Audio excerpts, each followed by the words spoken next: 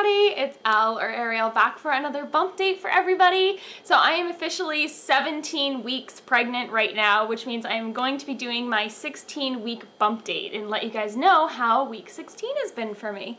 So as you can tell by my lovely attire, I'm actually in scrubs, my hair is up, I got no makeup on, like I am literally going out the door very soon for work, but I just wanted to jump on real quick and let you guys know what's been going on with us so that I'm not super late like I was last week.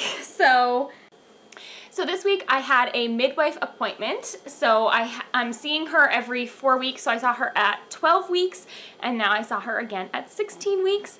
The baby is doing awesome. I think the heartbeat was around 145.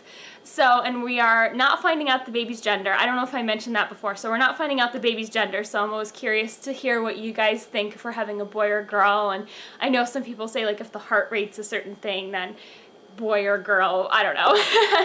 I, I've thought the whole time it could be a boy, but other people think it's a girl, so we'll just have to see.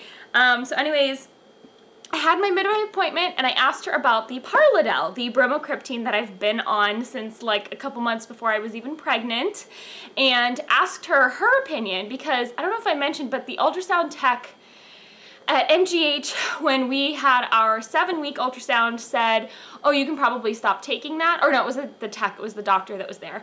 Um, but I felt very skeptical about it, so I continued to take it. So I asked her about it at my last midwife appointment at 12 weeks. And she said she talked to a couple OBGYNs and they all thought it was actually really good for me to continue taking it until I'm 28 weeks pregnant. So that is the plan right now. I'm taking a half a pill, which is 1.25 milligrams every single day until I'm 28 weeks pregnant, and then I'm good to go. We're trying to decrease the risk of things like miscarriage and that kind of stuff because my prolactin levels were high.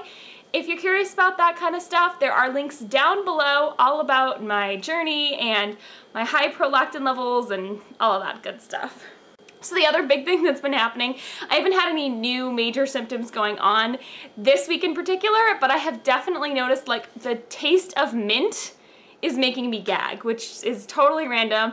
I think it's because the beginning of pregnancy, my heartburn was so bad and like the Tums I was taking were peppermint and so I equate like peppermint to like, I don't know, just bad things in general.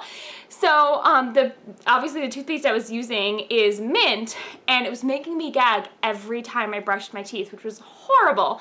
So I did some research and I actually wound up buying Xyla which is a great toothpaste anyways. It's like kind of an all-natural SLS-free toothpaste. It does have fluoride in it, but it also has xylitol, which is really good for your teeth.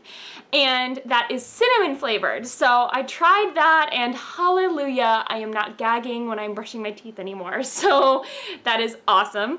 Uh, that, other than that, there haven't been any other major symptoms going on. I'm definitely noticing that I am more hungry and there have literally been times when I'm sleeping during the day that I'll wake up after three hours and I'm hungry.